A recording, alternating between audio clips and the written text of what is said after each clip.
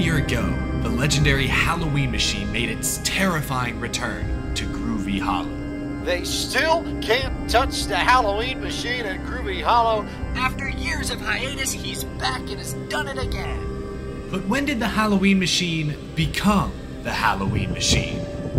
It may surprise you to hear that a long time ago, Groovy Hollow was under the control of the Junkyard Jacks. Junkyard Jacks were a fearsome band of villains known for terrorizing all those who dared challenge them on the racetrack.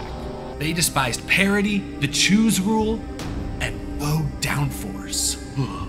Many years ago, the reign of the Junkyard Jacks reached a breaking point during a race on the high banks of Daytona.